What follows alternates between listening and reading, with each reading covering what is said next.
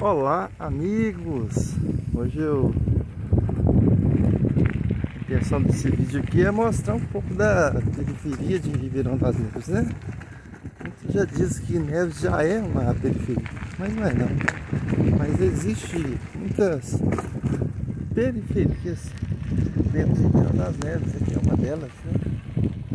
É, esse córrego aí, né? É, pessoal joga muito lixo aí, né? Se não jogasse lixo, né? Jogasse só o esgoto, seria mais tranquilo. Mas o pessoal ainda joga muito lixo. Aqui, é, continuando, né? A avenida aí, né? De terra, você pode ver, né? não está asfaltado ainda.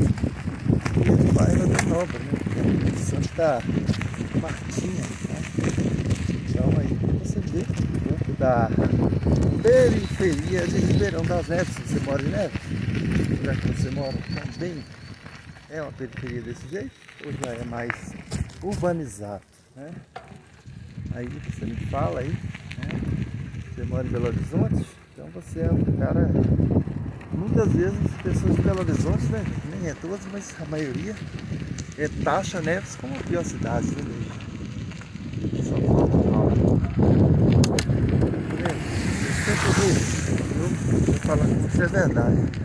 Não gosto de pessoa falar mal de Neves. Então, quando a pessoa fala mal de Neves, pode saber que eu não gosto, não vou ficar satisfeito. Entendeu? Então é meu serviço mesmo. Esse dia é, o cara já chegou falando mal de Neves. Falei, ah, sai fora, cara, sai fora.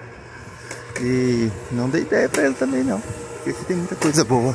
Gente, então fica com Deus, o vídeo curtinho aí.